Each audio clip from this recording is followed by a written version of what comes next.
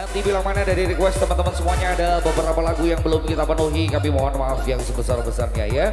Dan juga karena keterbatasan waktu yang jelas ya. Kami ucapkan terima kasih yang terpasang atas sudah dan juga kepercayaan yang diberikan bersama kami.